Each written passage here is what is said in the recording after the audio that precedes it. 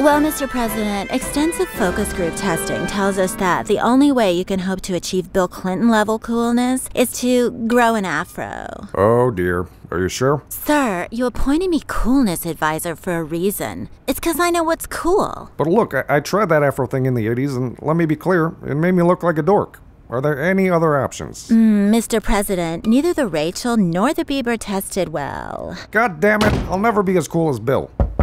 Mr. President, sorry to interrupt your super important meeting. There's a national security emergency.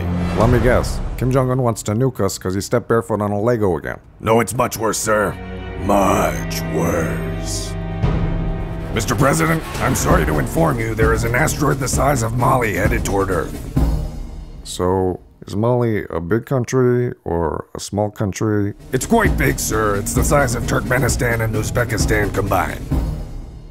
Listen, I'm not W, but I'm lost here. Sir, it's huge. This is the end of life on Earth as we know it. Can we Armageddon it? I'm afraid that was just a movie, sir. It's not possible in real life. Oh, so is there anything we can do? Mr. President, we're going to send a small group of people to Mars to colonize it and save the human race. Mm, like the Martian. Again, that was a movie, sir. We have two state of the art spaceships for the mission. One will be full of bright, indispensable people. You know, scientists, engineers, biologists, lawyers. I'm Matt Damon.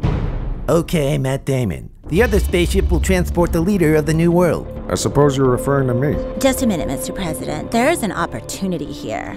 If you stay here and die with your people, you will be the coolest president ever. As cool as Bill Clinton? As cool as Morgan Freeman.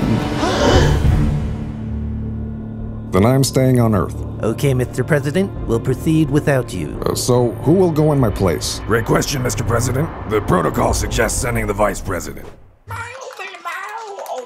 But if he is not available, then we don't know. How about we send all the presidential candidates and they can duke it out in space? Actually, if you get rid of those jerks, the American people will love you even more. Then I'll be as cool as Samuel L. Jackson. Let's not push it. But who will we get to protect the candidates on the mission? No human could possibly tolerate being locked with all those people for so long. I know a robot who would be perfect for the job. You mean Hillary? Not exactly.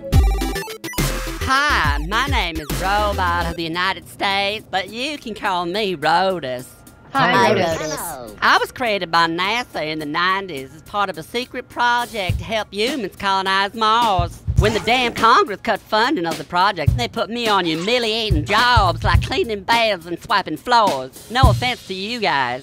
Basically, politicians ruin my artificial life. Hello? Rotus, the secret project American Pride of Prideful Hope has been reactivated. I've got to go, you losers.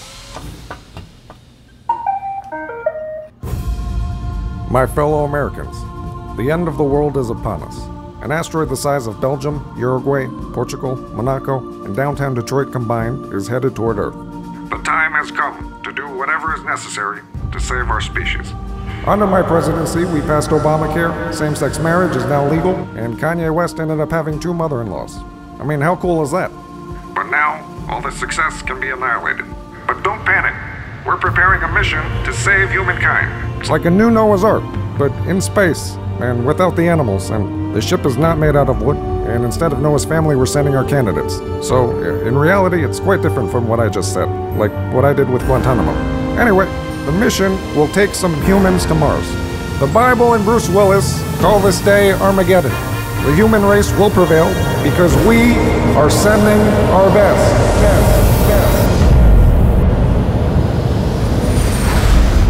All systems stable. Is everybody okay? Not really. I forgot my iPhone charger. Did anyone bring one? Or are you too old to know what a smartphone is? I have an Android. You know, like the bottom 85%. What a communist. I mean, can you believe this loser? I brought this huge, amazing 10 trillion hour phone charger, and it's gold plated. Gold plated! But I'm sorry, I don't lend my stuff to Mexicans. Excuse me, I'm not Mexican. I'm a second generation. Hey, hey, believe me, you are a Mexican. Nobody knows Hispanics like I do. We have a great relationship. They love me. They love Trump. You know what, Donald? My wife is Mexican, and I know Latinos better than you because because yo vi el chavo del ocho. Boys, boys, boys, let's focus our anger on the real problem that's threatening the future of humankind Hillary Clinton.